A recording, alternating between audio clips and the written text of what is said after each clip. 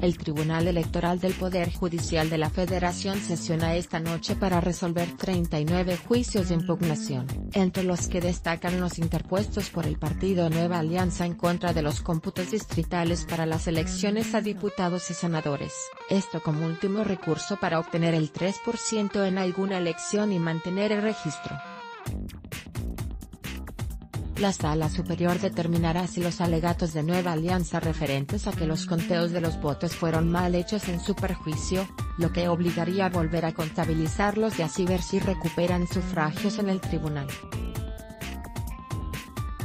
Hay que decir que para mantener el registro, el partido turquesa requerirá ganar más de 100.000 votos.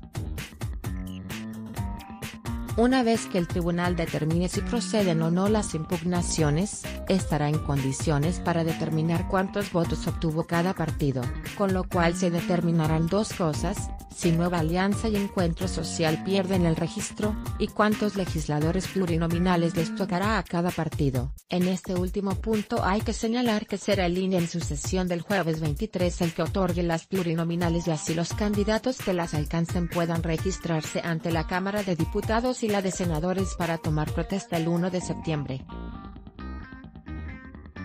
Por otro lado, el tribunal también determinará si proceden las impugnaciones a las multas por fiscalización del PRI y Morena.